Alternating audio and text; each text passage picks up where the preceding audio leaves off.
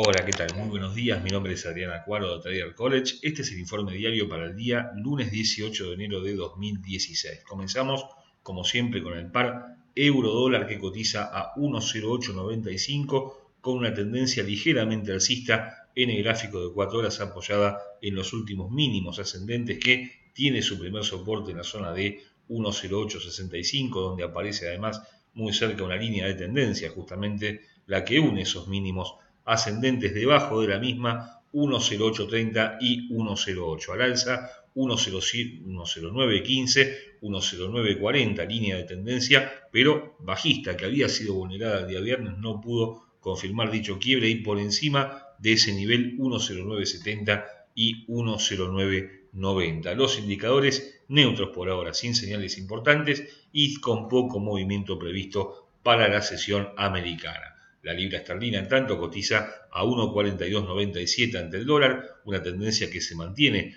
bajista en el gráfico de 4 horas, pero con una aceleración de última hora del día viernes que puede dar lugar, como siempre sucede, ¿eh? a un cambio de tendencia de corto plazo, en cuyo caso 1,4325, 1,4355 y 1,4380 línea de tendencia bajista serán las zonas de resistencia a considerar. Los soportes, el mínimo del día hasta el momento, 1.42.50, luego 1.42.15.20 y 1.41.85, 1.42.20 justamente supone el mínimo de eh, junio de 2010, el quiebre del mismo ya llevaría mínimos de muchos años a la divisa británica. Los indicadores con señales de sobreventa en este gráfico de 4 horas y con algún tipo de divergencia, por ahora muy eh, neutra, en, eh, entre la curva de precios y el indicador de momento estocástico, iniciando una señal alcista que al quiebre de 1.4325 podría extender las ganancias de la divisa británica. El dólar yen, por su parte, cotiza 117.35 con tendencia bajista. El gráfico de 4 horas abrió muy fuerte con ganancias muy fuertes la divisa nipona en la sesión asiática de hoy, pero recupera el dólar posiciones en estos momentos con objetivos en su favor en 117.65, luego 118.05 y 118.40. Los soportes 117, 116.50, el mínimo del día viernes y 116.15. Los indicadores con ligeras señales alcistas, por ahora ninguna de ellas confirmada, el quiebre de 117.65 sí podría dar lugar a un movimiento favorable al dólar más sustentable.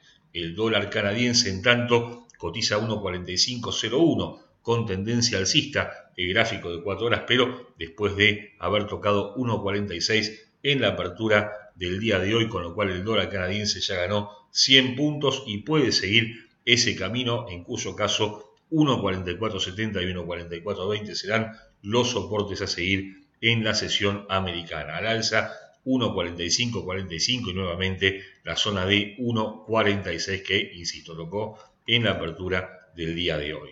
En cuanto al dólar australiano, cotiza a 0.6885 con tendencia bajista el gráfico de 4 horas y soportes en 0.6860, 0.6825 los mínimos del día hasta el momento y además mínimos de los últimos 7 años y 0,6805 al alza, 0,6910, 0,6935 y 0,6980. Los indicadores con alguna señal alcista por ahora no confirmada y nos queda como siempre la onza de oro que cotiza a 1090,11 con tendencia ligeramente alcista de gráfico de 4 horas, luego del quiebre de una línea de tendencia bajista que se produjo el día viernes en, la, en plena sesión americana, acá está el quiebre de la misma, y mantiene ahora, después de un pullback contra dicha línea de tendencia, objetivos en 1095,10, 1097,50 y 1102,75. Los soportes 1085,40, 1081,95 y 1078,45. Los indicadores neutros por ahora, solamente con estocástico, brindando una señal bajista importante, pero que no parece tener mucho trayecto por delante. Y sí, el movimiento que estamos viendo asemeja una figura de continuación de esta ligera tendencia alcista que se manifestó a partir del día viernes. El quiebre de 1095,10 puede dar lugar a un movimiento favorable a la onza en las próximas horas. Señores, como siempre, tengan todos una excelente jornada de operaciones. Nos vemos mañana martes.